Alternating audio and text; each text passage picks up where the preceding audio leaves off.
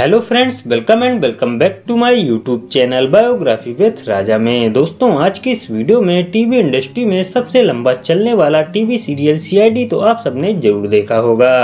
ये serial TV पर करीब 20 साल तक चला था।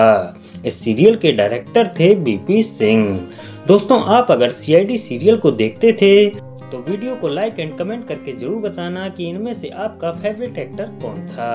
तो दोस्तों, आज की इस वीडियो में इन कलाकारों की रियल लाइफ पत्नियों और उनकी फैमिली के बारे में आपको बताएँगे। और साथ ही ये भी बताएँगे कि ये कितनी एज के हो चुके हैं। अगर आप इनकी रियल लाइफ पत्नियों को नहीं जानते तो इस वीडियो को ज़रूर देखें। तो चलिए दोस्तों, वीडियो को करते हैं start number one, inspector Daya. CID में इंस्पेक्टर दया का किरदार दयानंद सेट्टी ने निभाया था। दयानंद सेट्टी का जन्म 11 दिसंबर उन्नीस सौ उनहत्तर को हुआ था।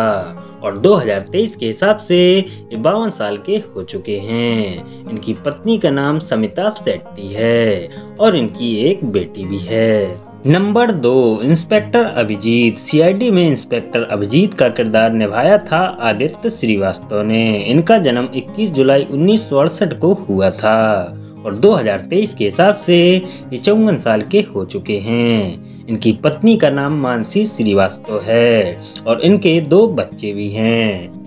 आदित्य श्रीवास्तव एक्टर के साथ साथ डायरेक्टर और वॉइस आर्टिस्ट भी हैं। नंबर तीन इंस्पेक्टर सचिन। सीआईडी सीरियल में इंस्पेक्टर सचिन का किरदार निभाया था हरिषिकेश पांडे ने। इनका जन्म 11 दिसंबर उन्नीस सौ चौहत्तर को हुआ था और 2023 के हिसाब से ये सैतालीस साल के हो चुके हैं। ये इंडियन टेलीविज़न एक्टर भी हैं। हरिषिकेश पांडे ने साल 2004 में त्रिशा पांडे से शादी की थी। इनसे एक बेटा बेटा भी है और साल 2021 में इनका डिवोर्स भी हो गया था। नंबर चार एसीपी प्रद्युम्न। सीआईडी सीरियल में एसीपी प्रद्युम्न का किरदार शिवाजी सतम ने निभाया था।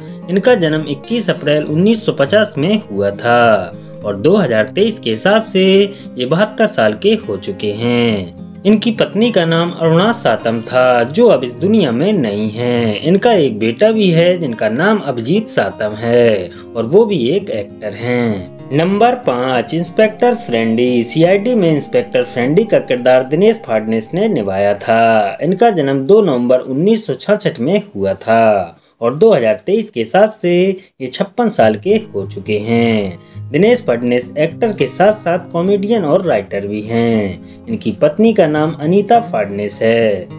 नंबर छः इंस्पेक्टर विवेक। सीआईडी में इंस्पेक्टर विवेक का किरदार विवेक वी. मसरू ने निभाया था। इनका जन्म 21 सितंबर उन्नीस को हुआ था और 2023 के हिसाब से उनतालीस साल के हो चुके हैं। विवेक ने 2018 में इस लड़की से शादी की थी, जिसके बारे में कोई जानकारी नहीं मिल पाई है। तो दोस्तों, ये थी सीआईडी सीरियल्स के एक्टर्स की रियल लाइफ पत्नियाँ।